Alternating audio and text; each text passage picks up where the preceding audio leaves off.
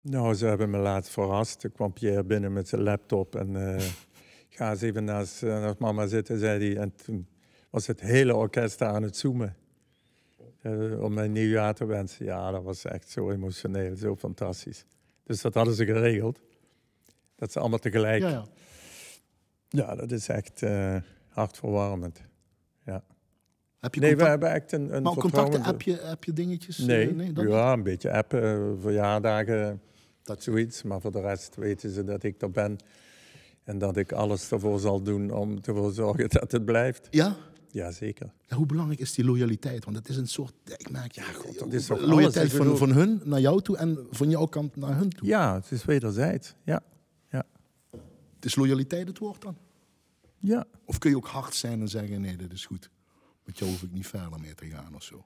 Ik stel het eventjes, Ja, kijk, bocht. eh, om nou gewoon eh, als, als eh, COVID nog eh, blijft en de steun houdt op, ja, ik bedoel, dat, dat kan ik ook niet betalen. Dat is, sorry, dan houdt het op gewoon en dan moeten we ergens kijken. Realistisch is dit gewoon. Dan ben zegt. ik even, nu praat ik heel realistisch. Ja, ik ben aan het denken om, om, om dan mijn Stradivarius maar te verkopen. En dan te kijken of... hè, ik, ik wil alles eraan doen om dat te voorkomen. Is dat nou een echte gedachte wat je zegt? Ja, Als het niet meer kan, dan serieus. ga je je Stradivarius verkopen? Ja, ja. Ja, omdat ik...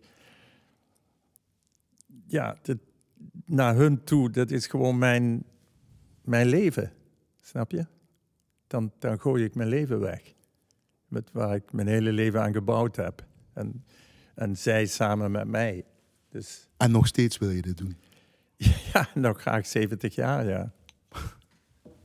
Dat is nogal wat. Ik wil mijn Stradivarius wegdoen om, eh, Ja. om, de, om het voortbestaan, om hun rekeningen, om hun hypotheken en om hun Ja, leven te laten ja, doorgaan. zo kun je het zien. Maar het is ook het, is het, het hele gebeuren. Het, we doen het samen. En eh, dat moet je niet weggooien.